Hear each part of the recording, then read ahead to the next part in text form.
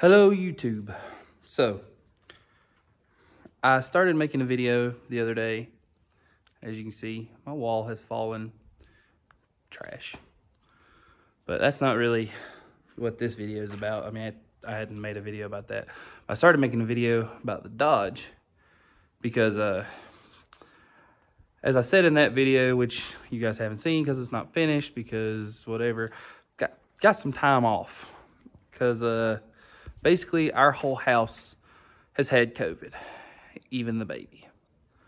So that being said, had some time to kind of sit back and think about a few things and just how how life is right now. Um, and before you freak out, everybody's fine. I mean, the baby's just fine. She's happy as she can be. You know, the boys, you can't even tell that they were ever positive at all. Myself, I've had weird like thermoregulation problems. Like I, I'm super freezing one second, then I'm super hot the next second, and it's just it's been crazy. My face looks super fat, like way more fat than normal. Oh, whatever. Um, so it's like I said, it's giving me some time off. Um, I felt pretty fair most of the days, except for yesterday. I pretty much felt like I was gonna die all day because I just I was weak and just I couldn't. Like I said, my my body temperature was just up and down. I couldn't couldn't regulate it in any kind of way. Um, but with that being said, it's given me a little bit of time to, to think about things and, and what I want to do and how I'd like to both progress the channel and some of my projects. Um, so that's kind of what this video is going to be about is just kind of walking around the shop a little bit and it's it's a disaster in here because the wind blows a thousand miles an hour and there's no walls obviously. Um, but i guess we'll kind of start with the t-bucket. So i built this car specifically to race adam at the push rods race and we didn't really take any video because even once we got to the race, I was still thrashing on this thing, trying to make it work, trying to just get there and make a pass. Um, and Adam's car didn't make it, so didn't really have to worry about much. But this car now runs, drives, does whatever, but it's still not quite right. I mean, it was rushed, you know. So there's things about this car that need to be fixed for the upcoming season one massive thing is the flex plate in this car is right but wrong. The flex plate in here is a 164 tooth flex plate. Does not have a bolt pattern selector for a small torque converter. So what we did is we just drilled it and stuck the torque converter through it. It works spins up fine, does everything fine. Nothing flies apart yet. Um, but that needs to be addressed. So that's got to get fixed. Um, obviously, having COVID, I can't really go anywhere and do anything. Um, and I'm also terrified of spending money because I, got, I want to make sure that everything's okay, you know. Um, but anyway, work is paying me for 10 days because I can't be there um, because if I didn't have COVID, I would be there. And they know that, and I know that, and I hope the people watching this know that. But anyway, um, needs a flex plate that will connect to the small bolt pattern on the torque converter. This up here, the electric water pump, it works. It does what it's supposed to do, except there's a leak really, really bad. And it's the first time I ever used one of these on small block Ford. Didn't really know what to expect. Um, there was a, a, plate in between the timing cover and the water pump or the mid plate or front plate that we don't need. So really need to tear it back down, take that off, clean the gaskets up, all that, put new gaskets in it, put it back together. Hopefully the water pump doesn't leak. Um, the wiring in it isn't great, but isn't really terrible. I mean, it's race car wiring, so there's like four wires in the whole car. Um, I have a 6AL2 um, digital delay, not delay box, but a digital um, MSD box. So I have a two-step and all that. It's not hooked up because I don't have a don't have all that for it. Um, I have no front brakes on this car, which I hate. But again, I was trying to make the race, so did what we had to do. Um, I'd like to switch it over, have front brakes, and put a, uh, a trans brake in it and all that, and actually make the car do what it's supposed to do. Because it would be a really fun car if it was just right. Um, like I said, I did what I had to do to make it to the race. I made it, proved my point.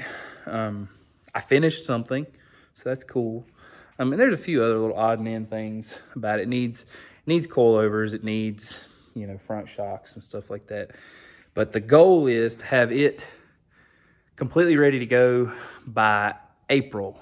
It, I think it's mid-April. There's a, a, a pretty good um, nostalgia show that's actually coming to Wilkesboro. But, you know, I'll clue y'all in more about that when it gets there. This turd bucket guy wanted to buy it something terrible. So I was like, I'll sell it to you just because you want it so bad. I told him I wouldn't sell it to him until I knew it was right. Got to messing with it, found out some stuff wasn't wasn't right. And then he ghosted me and I was like, what a dick because, you know, you wouldn't shut up for a week and a half. And then when I finally get a chance to mess with it, now you're like, oh, well, I don't want that, even though you were saying that, oh, you've rebuilt all this and done all this and whatever, but uh, guess not. Um, but my plan right now with this is I found a, uh, a guy that sells Crown Vic engines, and that's all that's in here anyway. Yeah, I found a guy that sells Crown Vic engines, and that's basically what this thing is supposed to have in it anyway. The guy says it's got a uh, a 4.6 out of a Grand Marquis, which doesn't really matter. I mean, it's it's going to be slow no matter what. But my plan is to take this motor out, um, put the put the newer one in, and they have a, a streetcar series this year that I think I'd like to run in because that, I mean, face it, you've got three races a year, and that's kind of boring I mean, it's it's a cool car, like it really is. Like I love it. I think it's awesome looking, and it's it sounds good, and it's just it's just cool because I built it in a month. But this,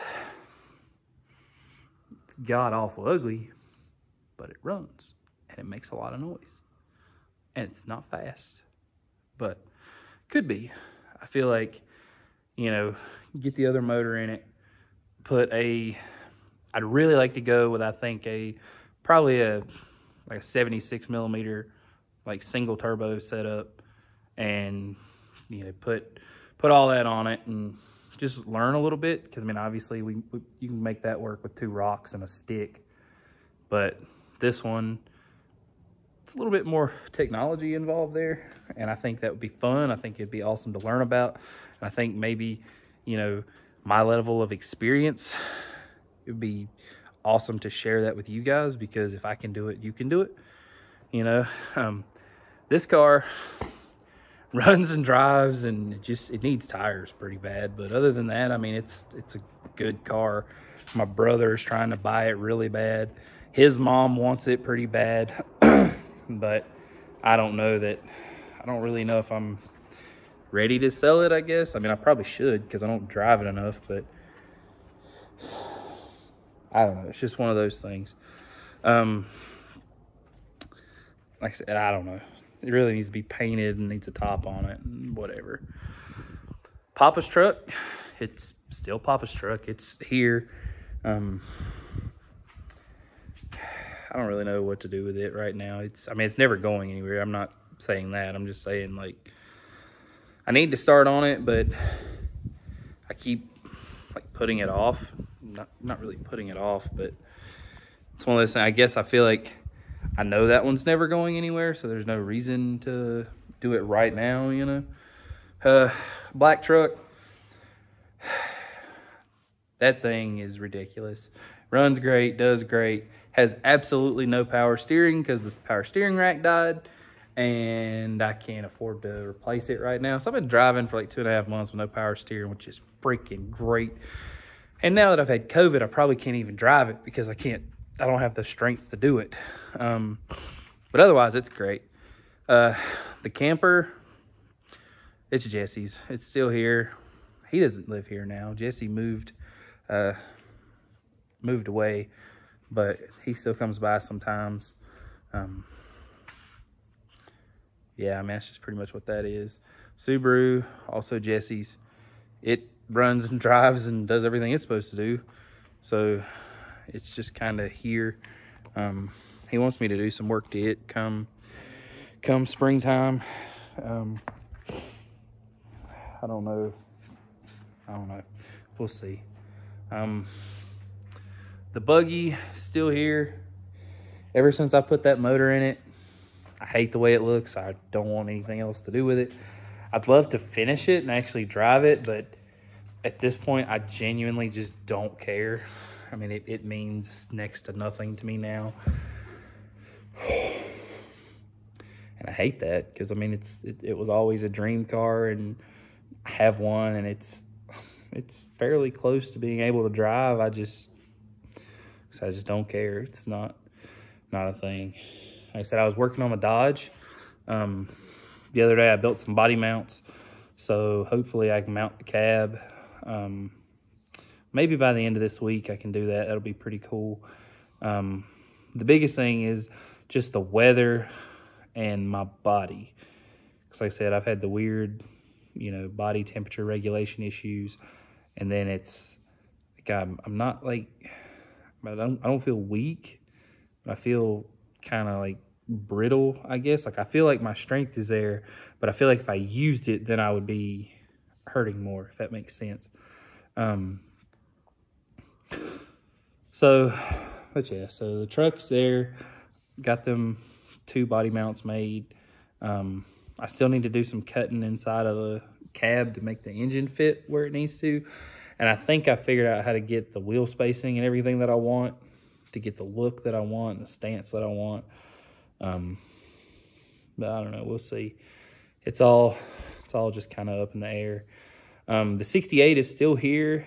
It'll be here forever, as far as I know. Like I I own it. I have all the paperwork for it. Um, I actually talked to Willard just the other day about how to get it down into the shop because I would like to I would like to have it this summer. Um, like to get it moving this summer, like rolling and driving. That would be that would be a massive goal.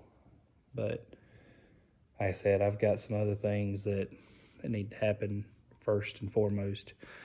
And once I get once I get back to work and I can actually do some stuff, then I'm gonna start going pretty hard and moving some stuff around. Um, like I said, the, the black car might be gone by then, and that's you know that's a little money. And the buggy, do a little bit more work to it to get it sold. Um, and just little odd and end things like that. Just trying to trying to to get there, you know. Um, yeah, that's that's pretty much it for this video. Um, still one of the biggest things I'm trying to do right now is actually get the walls put up on the shop. And I mean, I'm obviously gonna have to fix that, but basically it just fell straight over. It didn't hurt anything. Um, it just kind of sucks that it happened. Um, so that'll be the, the next big thing to get finished. And uh, after that, start start hammering away on some of these cars and it's pretty much it but i guess if you've watched this long thank you for your time and uh, just keep on keeping on i reckon. But thank you for watching. If you see anything or have any questions you know like comment subscribe.